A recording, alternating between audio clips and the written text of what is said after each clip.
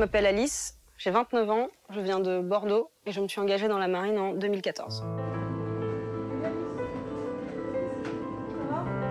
Mon métier est responsable de la préparation des missions aériennes et je suis enseigne de vaisseau.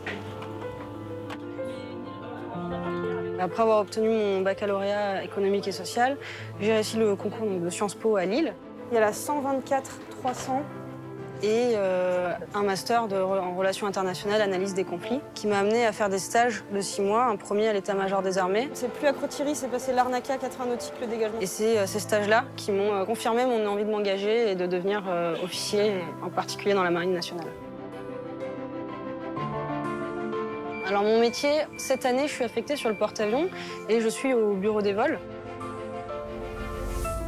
Je prépare les, briefings des pilotes sur la partie, on va dire, sécurité de leur vol, c'est-à-dire leur réserver un espace aérien. T'as pareil, t'as des exercices militaires, pas de précision sur la nature de ces exercices, mais ça engage quand même jusqu'au FL. Tous des éléments qui vont, euh, on va dire, assurer ce qu'on appelle la déconfliction avec les autres avions qui vont voler autour, puis les bateaux.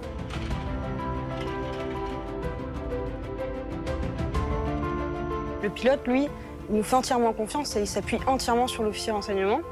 Et on est souvent vu un peu comme euh, l'expert qui a réponse à tout et qui doit s'intéresser à, tout dans la flottille. Ensuite, on va classifier les avions par euh, type de mission, pas seulement par euh, type de cellule.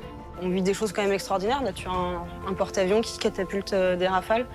Et, et ça, on ne retrouverait dans aucun autre métier. Ce qui m'a toujours euh, beaucoup euh, plu dans l'armée, c'est l'esprit d'équipage, le fait d'avoir ce sentiment d'appartenance à une famille, de pas être juste un individu isolé. Et c'est ce que j'ai vraiment retrouvé euh, dans la marine et qui, qui me tient vraiment à cœur aujourd'hui.